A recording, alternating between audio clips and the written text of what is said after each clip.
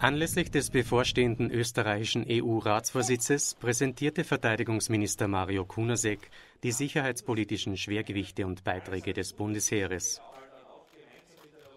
Ja, wir haben ja zwei Schwergewichtssetzungen. Das eine sind Unterstützungsleistungen, äh, die wir treffen im Rahmen des Flottenmanagements mit Fahrern, Chauffeuren, aber auch äh, Assistenzleistungen, die entsprechend auch äh, vorfallen können, nämlich für das Innenministerium, wo wir auch Kräfte bereithalten und natürlich auch im Bereich der Luftraumoperationen, wo wir auch zur Luft auch für Sicherheit sorgen. Und der zweite große Bereich ist der inhaltliche Bereich, wo wir auch im sicherheitspolitischen Bereichen natürlich auch uns einbringen werden, nämlich wenn es darum geht, Lösungen zu finden für die Sicherung der EU-Außengrenze als Beispiel, wo wir mit dem Assistenzeinsatzmodell, das es bereits seit Jahrzehnten auch in Österreich auf hervorragende Art und Weise gemeinsam mit, der Innen, mit dem Innenressort gibt, hier Lösungen zu finden, aber selbstverständlich auch Lösungen für den Westbalkan auch zu erarbeiten, wo ich ganz offen sage, das ist ein Bereich, wo man Stabilität und Frieden braucht. Nur dann kann es Stabilität und Frieden auch in Österreich und in Europa geben.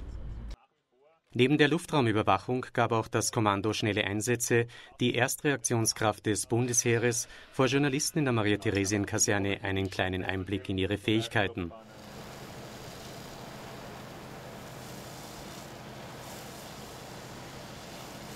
Also das Kommando Schnelle Einsätze ist ein Verband, den es seit eineinhalb Jahren gibt. Es ist ein Verband, eine Brigade, der so natürlich militärische Aufgaben zu erfüllen hat. Nichtsdestotrotz ist es ein Verband, der auch einen Auftrag hat, nämlich die Unterstützung bei der Aufrechterhaltung der Sicherheit und Ordnung. Sollte das benötigt werden, sollte es hier Anforderungen seitens der Sicherheitsbehörden geben. Wir haben also verschiedenste Fähigkeiten in diesem Verband.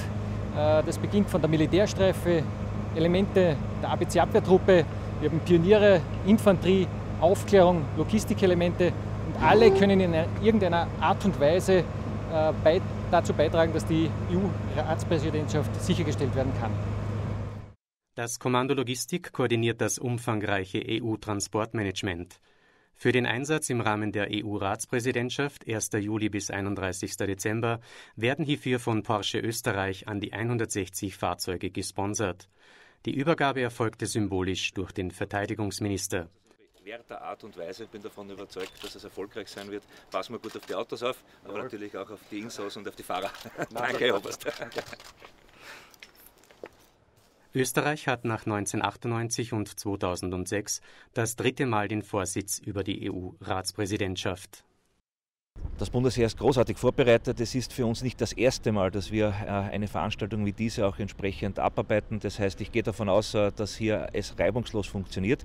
Appelliere aber natürlich auch an alle, die hier eingesetzt sind, diese Verantwortung auch zu leben, das Bundesheer auch darzustellen äh, und Werbung im besten Sinne zu machen. Wir leisten viel und wir müssen es auch entsprechend darstellen. Deshalb freue ich mich auch auf die nächsten sechs Monate.